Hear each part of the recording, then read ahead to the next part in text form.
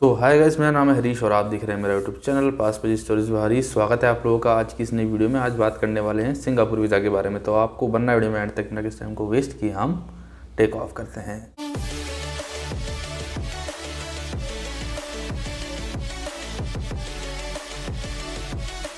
सो so स्वागत है आप लोगों का आज की इस वीडियो में। जो उम्मीद है आप जहाँ भी होंगे जैसे भी होंगे सेफ़ होंगे। मैंने एक टाइम्स ऑफ़ इंडिया का आर्टिकल पढ़ा जिसमें लिखा हुआ था कि जिन लोगों को वैक्सीन लग जाएगी उन लोगों पे सिंगापुर ट्रैवल रेस्ट्रिक्शन हटा देगा। मतलब अगर आप सिंगापुर जा रहे हैं और आपने कोविड नाइन्टीन की वैक्सीन लगा रखी है या लगवा ली है तो आप पे कोई भी ट्रैवल रेस्ट्रिक्शंस नहीं लगेंगी।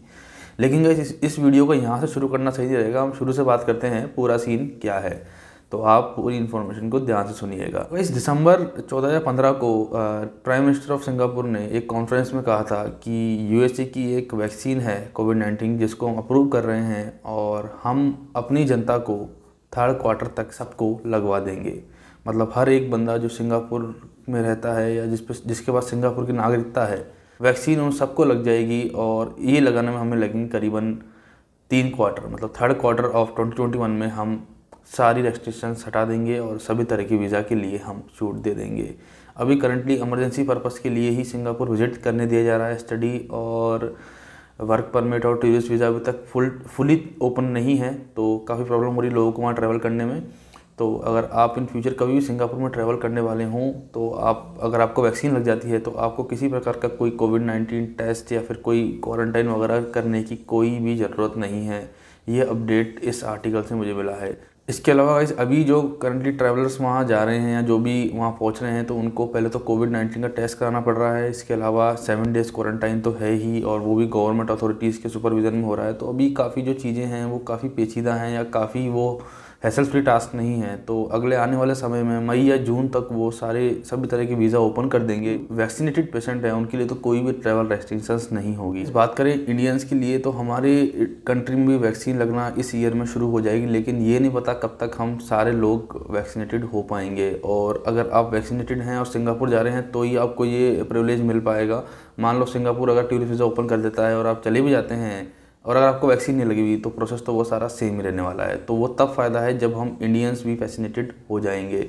और उसकी उम्मीद हमें पता नहीं कब छः महीने लग जाएँ, साल लग जाएँ, दो साल लग जाएँ, हम सबको वैक्सीनेटेड होने में, क्योंकि 135 करोड़ या इससे ऊपर की हमारी जनता है और सबको टीका लगवाना, सबको वैक्सीन लगवाना मतलब छः महीने, एक साल में तो पॉसिबल नहीं है। एक दो साल तो लग ही जाएँगे सबको वैक्सीनेटेड होने में। तो गाइज़ ये रूल्स जल्दी जल्दी सारी कंट्रीज़ जो हैं अपनाएँगी।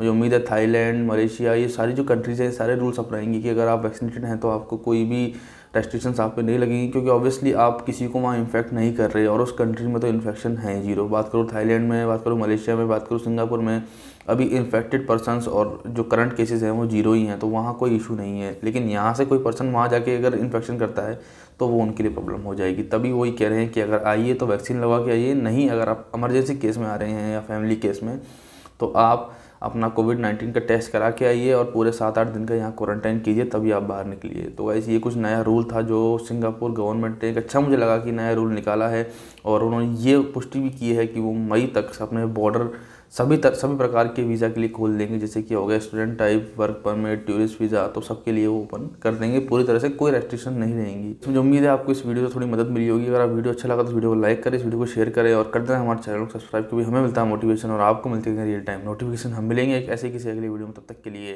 बाय